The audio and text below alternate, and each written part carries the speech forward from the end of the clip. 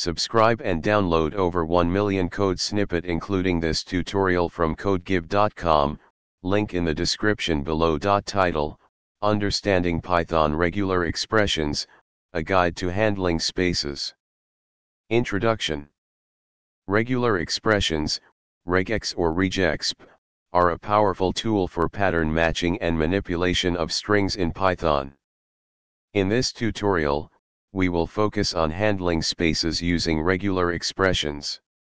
Spaces are common in text data, and regex provides a flexible way to work with them. Importing the re module.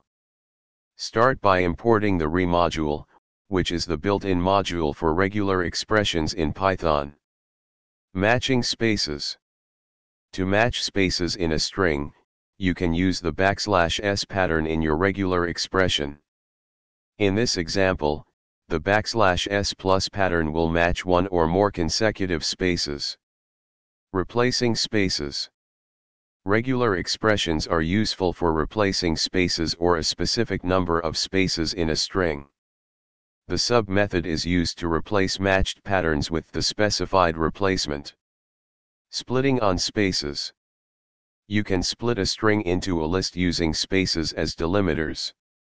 The split function is handy for breaking a string into a list based on a specified pattern. Ignoring leading and trailing spaces. Sometimes, you want to ignore leading and trailing spaces. You can achieve this using strip, along with regex. The caret backslash s plus matches leading spaces, and backslash s plus dollar matches trailing spaces.